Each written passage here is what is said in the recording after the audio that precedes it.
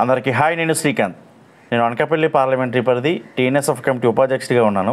నియోజకవర్గంలో కొంతమంది వైసీపీ నాయకులు ఇల్లు డెవలప్మెంట్ అంటూ మా నాయకులు చంద్రబాబు నాయుడు గారిని అయనపాత్రి గారిని విజయ్ గారిని చాలా పెద్ద పెద్ద మాటలు మాట్లాడుతున్నాడు.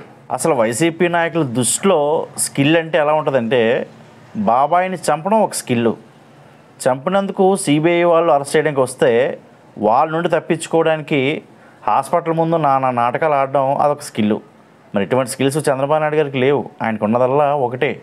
రాష్ట్రంలో ఉన్న యువతకి ఉపాధి కల్పించాలి. వారిని ఆధికంగా అభివృద్ధి పరచాలి. ఇదే ఆయనకున్న స్కిల్. దానిలో భాగంగానే మన రాష్ట్రానికి ఈ స్కిల్ డెవలప్మెంట్ ప్రాజెక్ట్ని తీసుకొచ్చారు. కానీ ఈరోజు అదే ప్రాజెక్టులో అవకతవకలు జరిగాయని అభియోగాలు మోపి వైసీపీ ప్రభుత్వం ఆయన్ని అక్రమంగా అరెస్ట్ చేసింది.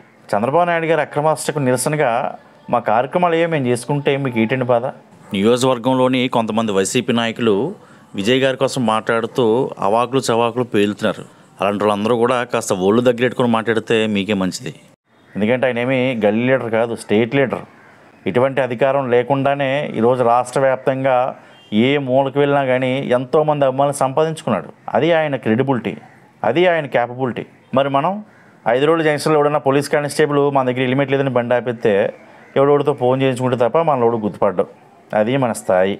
మనకి ఎందుకండి స్థాయిల కోసం? అనవసరంగా స్థాయిల కోసం మాట్లాడకండి. మీ వైసీపీ పార్టీ చెందిన సర్పంచులు ఎంపీటీసీలు జడ్పీటీసీలు కొత్తగా మంజూరైన పెన్షన్స్ని పంచిపెట్టారు. వాళ్ళలో కొంతమందిని తీసుకొచ్చి మీరు పెన్షన్ ఇప్పించడానికి పదిహేను వేల రూపాయల చొప్పున వసూలు చేశారని రేపు మీరు రూలింగ్ వచ్చిన తర్వాత అదే సిఐడిలో ఒక కేసు పెట్టించి ఎలాంటి ఎంక్వైరీ లేకుండా మిమ్మల్ని అరెస్ట్ చేయిస్తే అది న్యాయమా అన్యాయమా? మా చంద్రబాబు నాయుడు గారి విషయంలో కూడా జరిగింది అదే.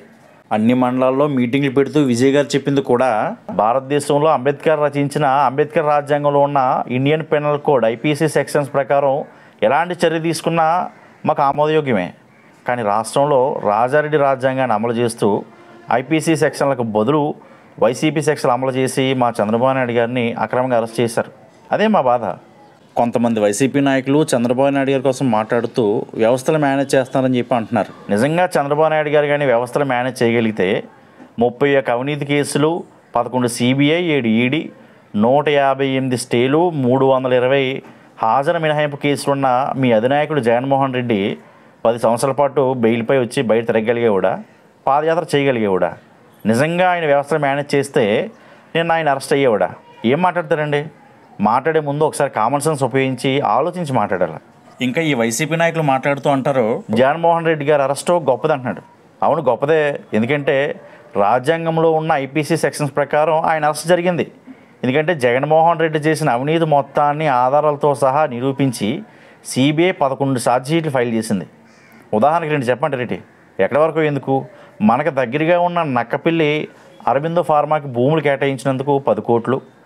కొద్దిగా ముందుకెళ్తే విశాఖపట్నంలో హిట్రో గ్రూప్ సంబంధించి భూములు కేటాయించినందుకు పద్దెనిమిది కోట్లు జగన్ రెడ్డి కంపెనీలకు సంబంధించిన జగతి జనని కంపెనీలో పెట్టుబడులు పెట్టాయని సిబిఐ ఛార్జ్షీట్లు పేర్కొంది. మీకు ఇంకా రుజువులు కావాలంటే సిబిఐ ఫైల్ చేసిన chargesheet number one CC number వచ్చేసి CCI hyphen zero eight by two thousand twelve ఒకసారి చెక్ చేయండి. అన్న బాగోత మొత్తం బయటకు వస్తుంది. అన్ని ఆధారాలతో అరెస్ట్ అయ్యాడు కాబట్టి జగన్మోహన్ రెడ్డి గారు అరెస్ట్ గొప్పది.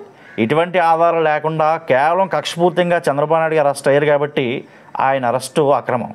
ఇవి చర్చించుకోవడానికే అన్ని మండలాల్లో విజయ్ గారు మీటింగ్లు పెడుతున్నారు. కానీ మీటింగ్ పెట్టినందుకు మా విజయ్ గారిని మీరు విమర్శించారు. విజయ్ గారిది ఏమైనా మీ వైసీపీ ప్రభుత్వంలో నిధులు లేని కార్పొరేషన్ పదవులు లాంటి పదవులు అనుకుంటున్నారేమో? కాదు ఆయన ఒక పార్టీకి state general secretary. General secretary అంటే మీలో చాలామందికి తెలియకపోవచ్చు. జనరల్ సెక్రటరీ అంటే ప్రధాన కార్యదర్శి. ఈరోజు రాష్ట్రంలో ఇరవై మూడు జిల్లాలో ఏ మూలకెళ్ళినా కానీ విజయ్ అంటే ఎవరో అందరికీ తెలుసు. అలాంటి విజయ్ గారి కోసం మాట్లాడేటప్పుడు ఎవడన్నా సరే ఒళ్ళు దగ్గరెట్టుకుని మాట్లాడాలి? అది సరైన పద్ధతి. లేదంటే దాని పరిణామాలు రాబో రోజుల్లో చాలా తీవ్రంగా ఉంటాయి. లేదు మాకు ఆరు నెలల టైం ఉంది. ఇష్టం వచ్చినట్టు వాగుతాం వాగండి. ఇష్టం వచ్చినట్టు పేలుతాం పేలండి. అన్నీ భరిస్తాం రెండు వేల ఇరవై నాలుగు ఎలక్షన్ తర్వాత తెలుగుదేశం ప్రభుత్వం రావడం ఖాయం. వచ్చిన వెంటనే ఒక్కొక్కడికి జోలపాడ్డాలు లేవు. డైరెక్ట్గా జో కొట్టడాలే థ్యాంక్ యూ